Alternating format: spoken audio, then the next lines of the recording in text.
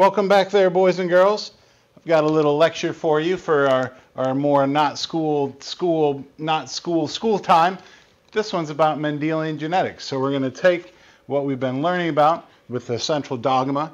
We're going to connect it to uh, genetic problems and public uh, genetics problems and Punnett squares, which I know you've done some last year, so this should be a nice, good reintroduction to them. They're called Mendelian traits because this young sir, Gregor Mendel, he's the person who discovered them. Uh, a little bit of background, he was a mathematician. He was also uh, a monk, you know, lived in a monastery, copied the Bible for free time in an area that we now call, uh, you know, the Czech Republic. In 1866, he published the experiments. We're going to talk about a little bit of his methodologies later today and how it led to him basically using math to measure and define all the rules, all the laws for heredity. Remember, when it's a law, we're describing our observations. Usually does that with math. He did it with math. We're going to do it with words. But before we can talk about that, we need to just quickly revisit the central dogma. So here we are in the notes. Boom. Notice they're somewhere on the screen, maybe here, maybe there, maybe all over. What controls our traits? So, first, 1a. Our traits are controlled by proteins. And these proteins are made by ribosomes. You know, good review so far. The DNA has all those instructions to make all the proteins. So the DNA has all the instructions to make all these proteins, so our traits are indirectly controlled by the DNA right? Because it's going to be this protein down here that's responsible for our traits. In order to get there, we have uh, the instructions in the DNA. However, in order to do that, the code in the DNA needs to be read, and the DNA is in the nucleus. The ribosomes are not in the nucleus. So in order for our DNA to be used, it must be transcribed into mRNA. We call that transcription and then it has to be translated into amino acids, right, like these amino acids up here, by the ribosome. We call that translation. And that should hopefully take care of all of number one. Now back to Mendel and his pea plants. Like I said earlier, he was a mathematician and he was a monk, M-O-N-K, you know, lives in a monastery, stuff like that. He discovered the main uh, principles, the main laws behind genetics, and he did it by uh, playing around with pea plants. Before we get into uh, his peas, it's worth mentioning that most traits do not follow these rules. Mendel got very lucky when he discovered his, uh, his rules with the pea plants. Most traits don't follow these rules. However, there's no way to really understand the more complicated traits without first understanding what we call Mendelian traits. So that's what they're called here for 2D. They're called Mendelian traits, you know, because Mendel discovered them, Mendel published about them. So it's a nice homage to a very, very smart dude who figured out all this stuff before we even knew what a cell was. Kind of crazy, but true. Let's talk about peas. For those of you that have never grown uh, pea plants in your garden, there, if we look at uh, their traits, most of the traits come in two varieties. Let's just look at the height of the pea plant. So Mendel conducted his research, like I said, using pea plants. There's two varieties of pea plant. They can either be tall, like that one right there, very tall.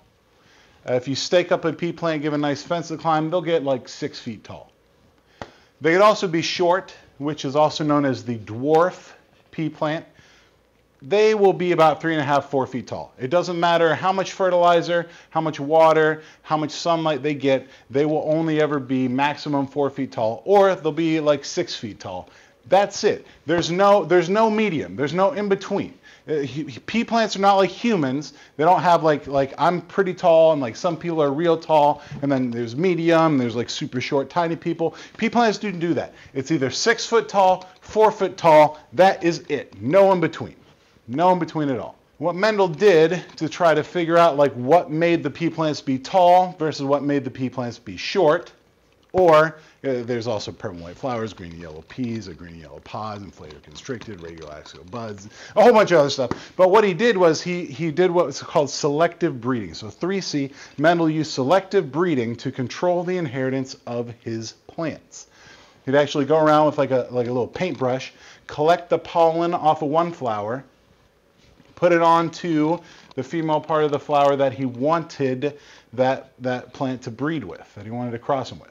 And he had like little hoods he'd put over the pea plant flowers to stop any like incidental pollination. P.S. That's what pollen's for, is for flowers to have sexual relations with other flowers. Think about that when your allergies are going off. And you're like, oh no, maybe I got the corona. No, just allergies. I don't know. I can't be sure. He would also do what's called self-fertilization. So he would also regularly self-fertilize plants. Let's say he wanted this plant. He wanted to see what happened if he took the genes from this plant and mixed them with the exact genes from this plant. He would do the same thing, just take the, the, the paintbrush, get the pollen from one flower, and put it onto a different flower on the same plant. That's called self-fertilization because every flower on this plant should be having the same genes as every other flower. So let's look at some of his crosses when he was cross breeding some of these plants. So he could take a tall plant, cross it with a tall plant, and all the plants, surprise, were tall. Tall plants crossed with tall plants yielded tall plants. Did the same thing with two short plants. He makes a short plant with another short plant. He got short plants. And I know uh, none of that is very impressive so far. Yes, tall plants make tall plants, and short plants make short plants. Here's where it gets weird. He took a tall plant, he mixed it with a short plant, he crossed them, and he got tall plants. Tall plants. Again, no medium. There, there, there's no medium. But he looked at it and went, okay, so tall and tall makes tall, short and short makes short. What tall and, and short makes tall? What's, what's going on here? What's going on here? What it seems like is happening is the tall trait is covering up the short trait in the offspring because we've got the tall trait that showed short. And it's not like most tall, some short, all tall, no short, no medium at all. Let's flip that page. Because of the whole tall, short, making tall plants thing, Mendel came up with a, with a couple rules and, and a couple terms.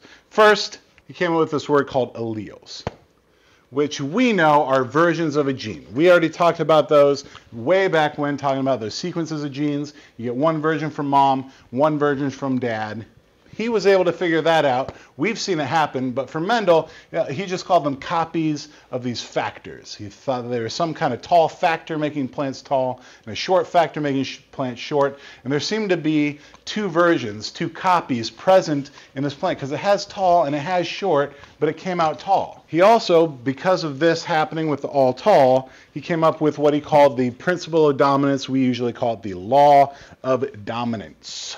So the law of dominance, by the way, that's, that's 5b now, 5b. The law of dominance says one allele is always going to be dominant over the other allele. So one version of the gene is dominant over the other version of the gene. We call that other version of the gene recessive. That's what goes in the parenthesis. The recessive allele is expressed only when it's paired with another recessive allele. The only time you'll see short is when you mix two shorts. You'll see tall when you mix two talls, but you also see tall when you mix tall and short.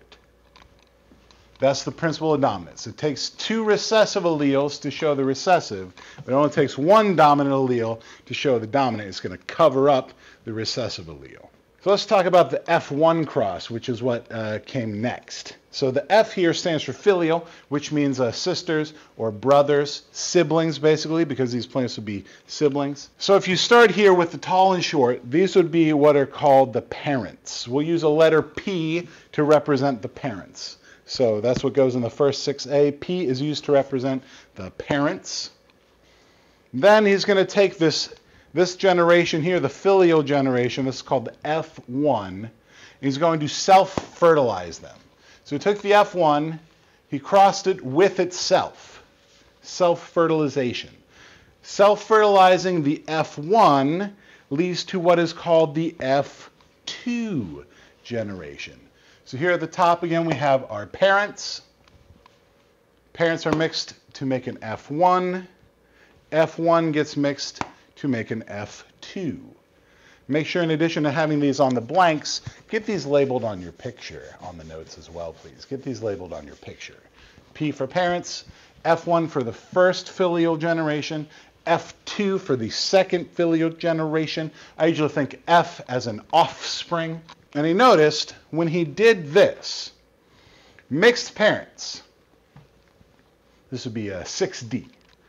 Mixed parents, so a tall and a short parent, resulted in an F1 that are all tall, all the same.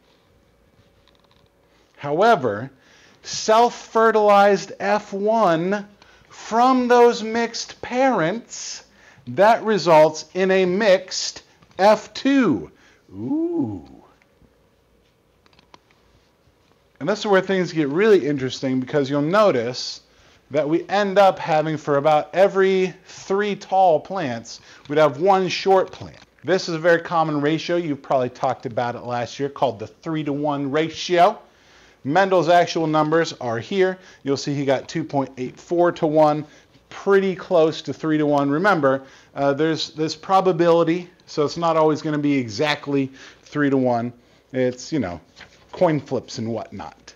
But anyway, based on all this, and all these seven other Mendelian pea plant traits. Mendel was able to come up with a whole bunch more rules because he did that same sort of experiment that we just talked about for all of these, and every time it came out showing the same thing, roughly three to one when he'd look at the F2. Weird, weird, weird. Our gene, that's a segment of DNA that codes for a trait. He, again, just called them factors. The allele, right, those are the versions of a gene. Mendel called them copies of the factors. Remember, the alleles, they're versions of the gene. You inherit them from your parents, so every organism has two. That's one from each parent. And believe that takes us all the way through 7b, and it is again time to flip the page. Flip the page. 7c, we're talking about gametes which he called like packages of vitality, which is whatever that means. But we know that they're small cells used for reproduction, right? They have half the amount of DNA. They have half the amount of DNA. So small cells with half the DNA that the parents use to pass down the allele from the parent to the offspring. That's why you get one allele for each gene because we're talking about the egg and the sperm, right, that we talked about like a couple weeks ago one from mom, one from dad. That's one allele each. So that should take us all the way to this picture right up in yeah. This picture does a very nice job representing uh, the second law that Mendel came up with, the law of segregation. On your diagram, please label the F1. This is that same F1 from that cross we just did, right? Our tall plants that are going to end up having a mix of tall and short plants as their babies. But we're looking at the alleles, which, spoiler alert, we represent them with single letters. Looking at our alleles, the law of segregation says that when the gametes here are formed, the two alleles for each trait are going to separate from each other. So the big T and the little t will not be passed down together from this parent. They will get separated. You will either pass down the big T or the little t. So in the gametes, it should look like this, right? Big T, little t, they segregate from each other. These are the two possible gametes from this parent. This parent also has two different alleles, big T, little t, so there's two possible alleles down here. This is the law of segregation. When gametes are formed, the two alleles for every trait will separate from each other. Then, during reproduction, the segregated alleles are going to recombine which is what all these arrows are for. So you just put the big T there, and that big T there, and that big T there, and uh, that little T there, little T, little T, little T. It, it looks like that, okay? It looks like that. See, big T, big T, big T, little T, big T, little T, little T, little T. They recombine. We know this happens during fertilization. P.S. Remember, that is now called our F2 generation. So please label your diagram with the F2 generation. For those of you following along last year, you remember this is labeled as segregation. This is also what happens during meiosis, right? You talked about that in eighth grade. I'm meiosis. Notice again we have half the alleles because the gametes have half the DNA. That should get us all the way through 8. And now, instead of drawing this diagram every time, we can do instead, to figure out what's going to happen here, we can use what's called a Punnett square. So this is with green and uh, yellow peas. If we take two F1 yellows, so those would be the uh, big Y, little y, you can actually fill them in on the Punnett square. And you use the Punnett square. I know, stop filling in the Punnett square. Fill in the blanks first. Use the Punnett square. Uh, they are used to predict the outcome of genetic crosses. That's what we call. So when we, when we cross breed or cross pollinate these two plants, it's called a cross. Here's our law of segregation being shown. The parental alleles, right, from mommy and daddy, they get put on the outside of the box. One parent goes on the top, one parent goes on the side. In this case, both parents have the same genes, so it doesn't matter which one goes on the top and which one goes on the side. What if they had different alleles? Guess what? It still doesn't matter if which one goes on the top or which one goes on the side, as long as you just put one on the top and one on the side. Notice I didn't take this little y and put it up here because that little y came from that little y and that parent's on the side. It's all good either way you do it. Your choice every time. Go you. So you put the parental alleles on the outside, then the filial alleles, the offspring, are formed on the inside of the box. That is 9C. So the offspring are formed on the inside of the box. You do it using the time-honored classic dropping and sliding. You'll drop this Y down, you'll slide this Y over. Gives you big Y, big Y inside there. You'll drop this y down, you'll slide this y over. Notice though, which y gets written first? I said drop the little y first, but the big Y that I said slide second, that one got written first. The reason why we do that is that is uh, the dominant allele always gets written first. It just looks nicer, don't you think?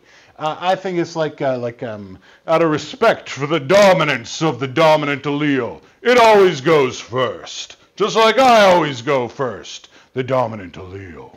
Always goes first. So even though I said drop and slide, always write the dominant allele first. Here, right, drop down that big Y, slide over the little y, drop down the little y, slide over the little y.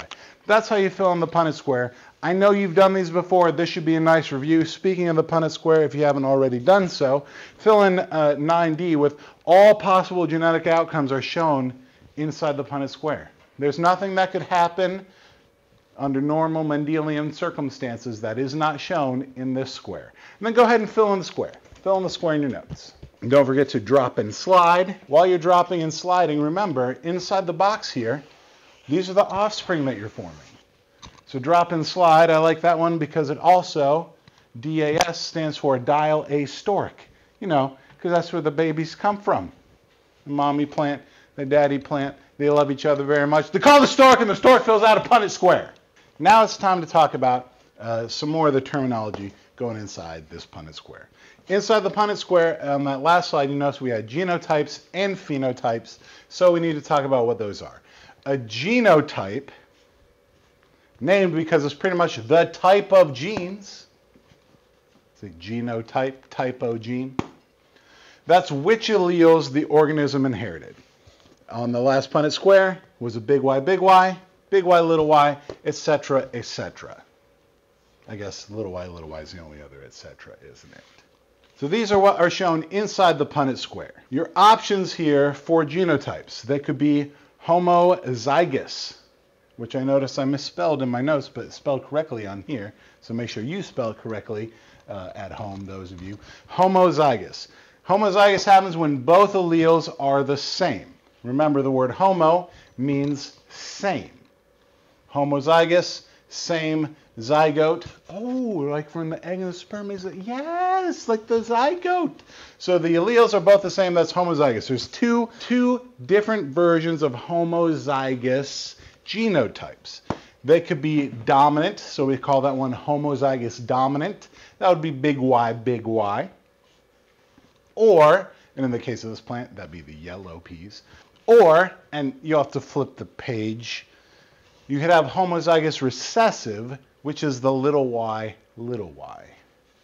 You have homozygous dominant, big Y, big Y, homozygous recessive, little y, little y.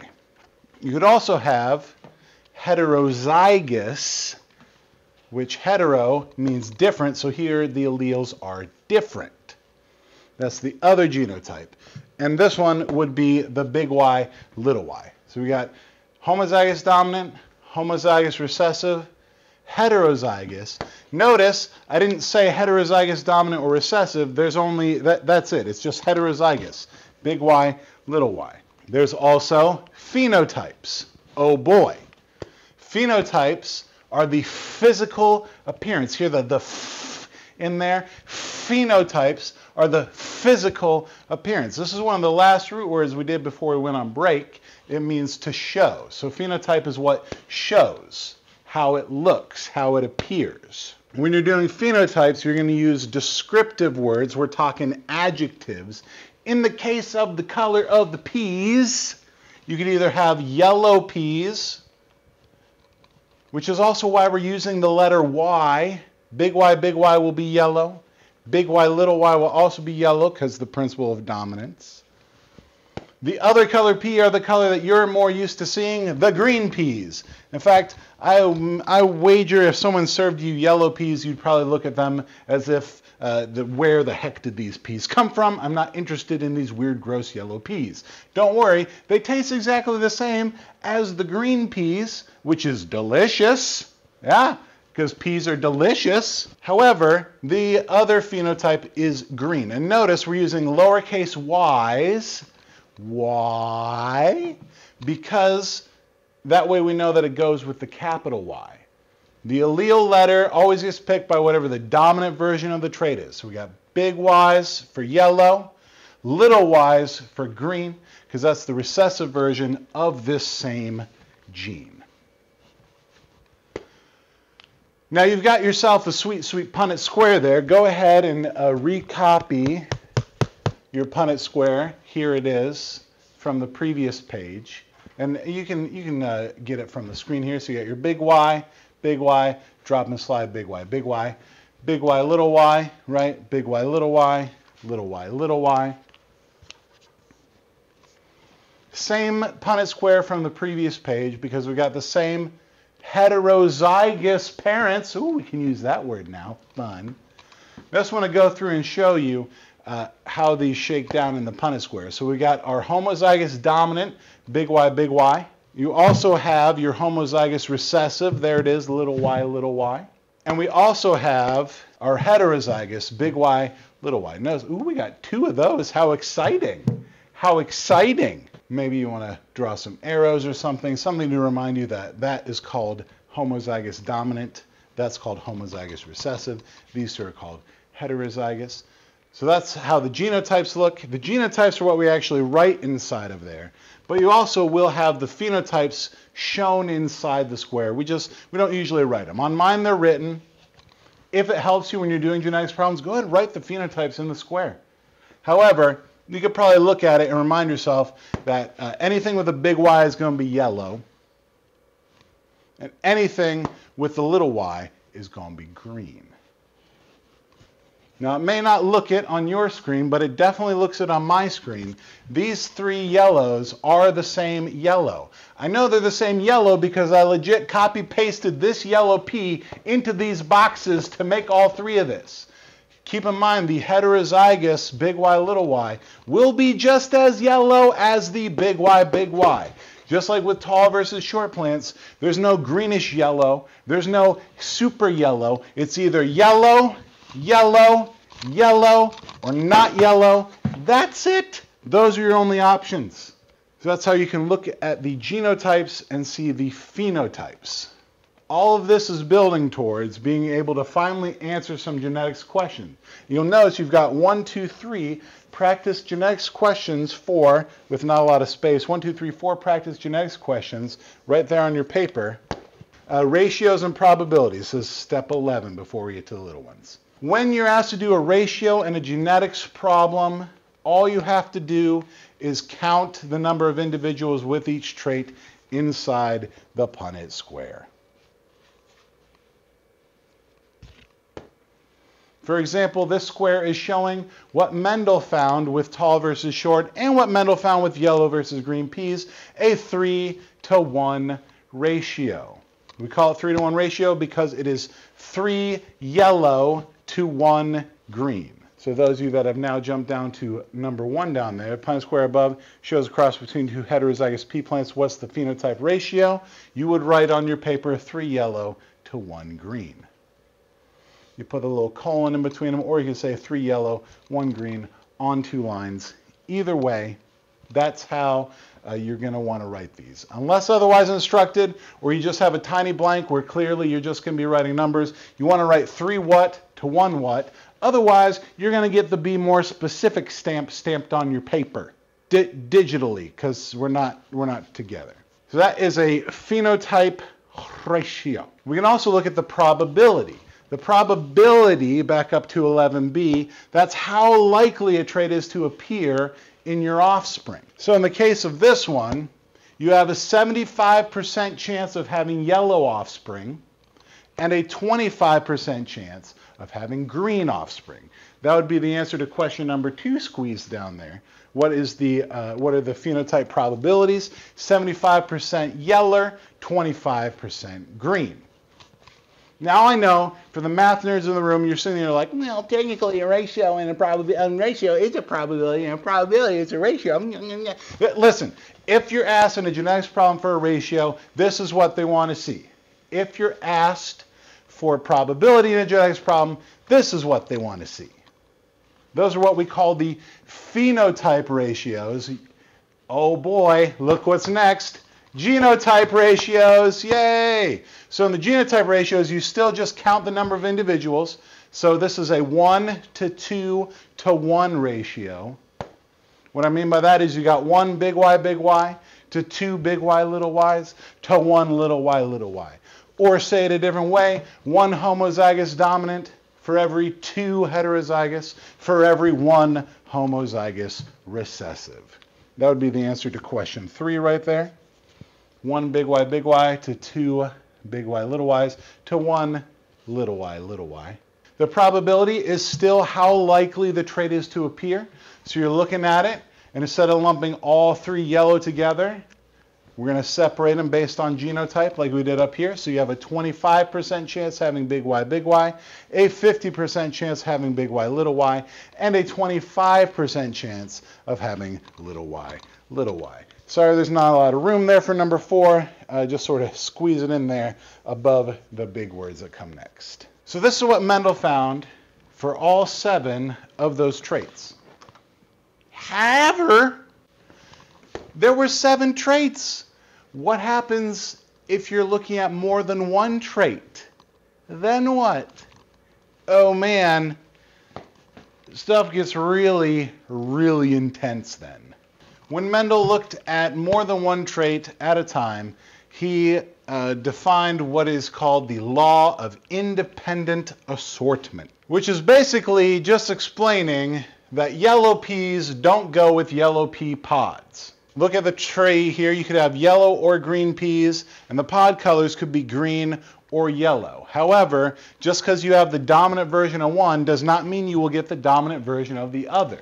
They're two separate traits. They get inherited independently of each other. They show uh, what comes out to be a 9 to 3 to 3 to 1 ratio. What? Nine yellow peas with a green pod for every three yellow peas with a yellow pod, for every three green peas with a green pod, for every one green pea with a yellow pod. Wait, where do we where do we put it? Relax. We're getting to the parts of the notes. This is stuff you're going to look at next year in biology when you do dihybrid crosses. I just wanted you to be ready for it. So let's talk about the law of independent assortment. Allele pairs for different traits separate from one another when the gametes are made. So allele pairs for different traits do not get passed down together. Instead, they do so independently from what the others do. Oh, see what's in they assort themselves independently. I see what we're doing with the words. What that means is the green pea needs to have a chance to go with either the yellow pod or the green pod. That's 12b. The green piece could go with either the yellow pod or the green pod. And same for the yellow pea. The yellow pea could go with either allele for the uh, yellow pod or the green pod. Basically, what we're saying here is one trait does not determine another. The inheritance is different every single time. That's the law of independent assortment, which we learned last year, right, when you talked about meiosis in eighth grade. Here it is, all of Mendel's three laws all put together.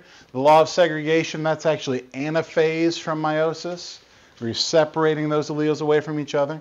Then independent assortment, because when they line up in metaphase, they, they can line up any which way, so they can line up like that, or they can line up like that. And when they line up those two ways, they'll segregate in all these different ways. And then, because you know we're randomly selecting these gametes when it's time for reproduction, it gets real weird. See all the arrows going all over the place here. And you see down here at the bottom that it's showing the principle of dominance, right?